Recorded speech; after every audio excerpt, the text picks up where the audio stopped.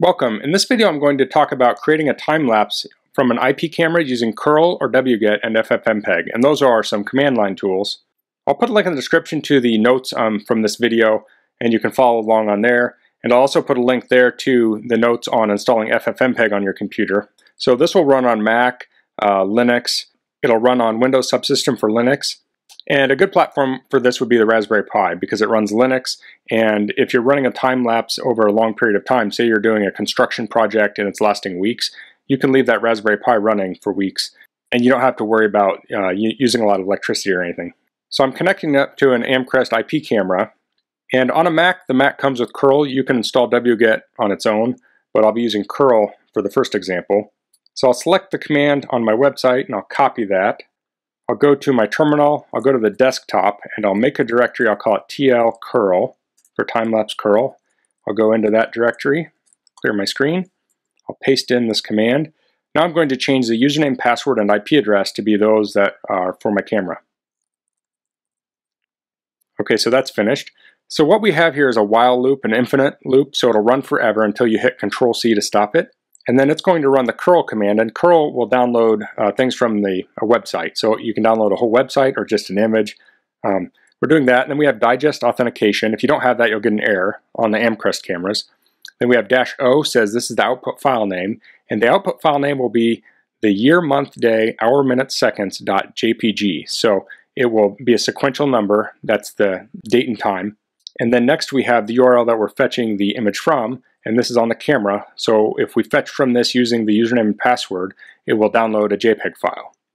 And then we have sleep one. So this is taking an image every one second. So that's probably a little fast. You could probably do it every 30 seconds or every minute, depending on what you're doing. And then at the end we have done. That means our loop is done. So I'll run this. And this is downloading the JPEGs to this folder I created. So if we open that up, we'll see the JPEGs in there.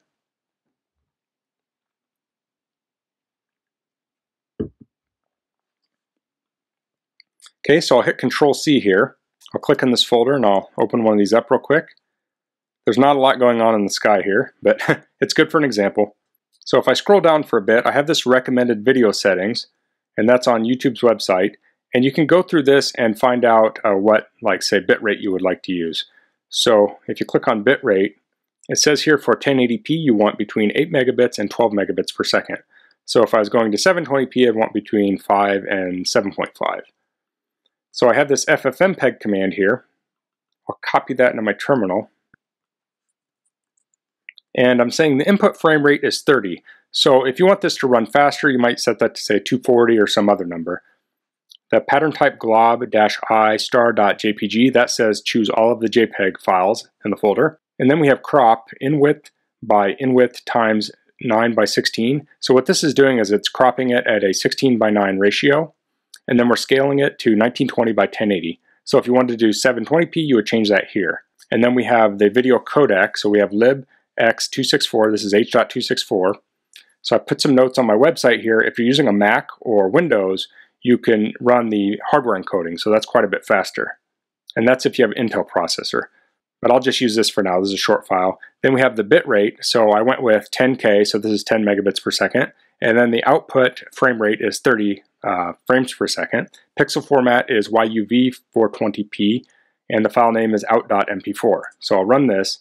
This will be super quick because I have almost no files here, but I have the video file now, so I can double click on that, and I'll run it. And yeah, we don't see much, obviously, but I did make one the other day. I'll open it up. And the first example, I think I did this at 30 frames per second for my input uh, frame rate. And it's very slow there's not much action going on here. There wasn't a lot going on in the sky, so you can see if I scroll, you see more. So I'll close that, and then I did one, uh, this was 240 frames per second with the same group of pictures. There's like 6,000 pictures. So if I run this one, there's not a lot of action early on, but towards the end, you start to see the clouds come in. So this is a little bit better. I don't think this video is too bad. I probably would crop the front off, and you can kind of see the sun on the left um, setting. But yeah, I mean, that's what I had to work with. Hopefully, when some storms come in, I'll get some better uh, time-lapse footage. Let's finish that out. Okay. As you see down here, it has over 6,000 images in this folder. So I'll close that out. I'll back out of this directory. I'll say make dir tl wget. I'll hit enter. I'll go into that directory, clear my screen. I'll go up here and we have the wget one. So this is pretty much the same thing. So I'll run this and now it's downloading into that folder, tlwget.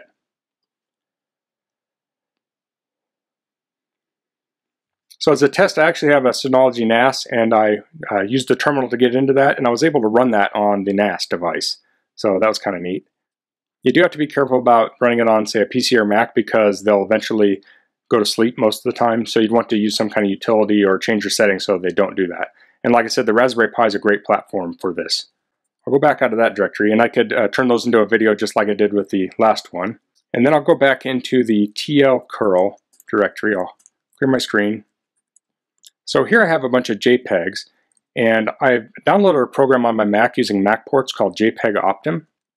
And this will losslessly shrink a JPEG, so it won't change the quality at all, but it will make it a little bit smaller. So I can say strip dash all. This will uh, strip out any metadata that I don't need. Well, at least in my case, I don't need it. I, I don't need like location data and stuff that you get on a lot of JPEGs, like if you take with your phone, because I know where the camera is. So if I run that on this first file here, and I'll listed out again, you can see before it was uh, 347K and now it's 318K. So you can make your JPEGs a lot smaller using that. But what I've done is on my website, I also made a command. If you're on a computer, on a Mac using Mac ports, you can install a JPEG Optim. You want to type sudo space port space install space JPEG Optim. And then if you're on Windows subsystem for Linux, Ubuntu, or any other like Debian-based system, you can type sudo space apt space install space JPEG Optim, and that will install that utility. If you do that, you can run this curl command with JPEG Optim already baked into it.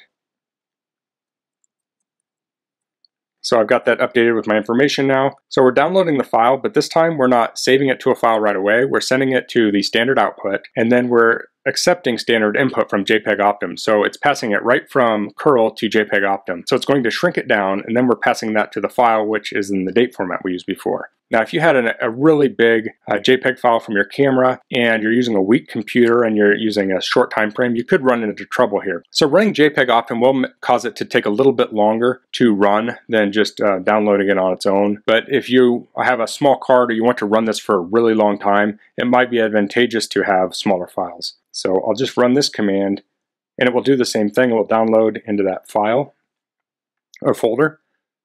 Okay, I'll hit Control C here, go down to TL curl, and you can see the first ones here were uh, 348, 348, 347, and then these newer ones were 307, 308, 308. So the way I'm doing this is you're sleeping for a second in between photos, so you don't get a picture every second exactly. You get a picture, wait a second, and do another picture. It doesn't process it during that sleep. That sleep lives on its own. But I think for most people that will work fine. Like if you're trying to document the build of a, a garage you're making or something like that, um, you can still get a nice time lapse out of this. So that's all for this video. I know this might be confusing to people who aren't used to working with command line, so if you have any questions, please leave them in the comments and hopefully I'll be able to help you out with this.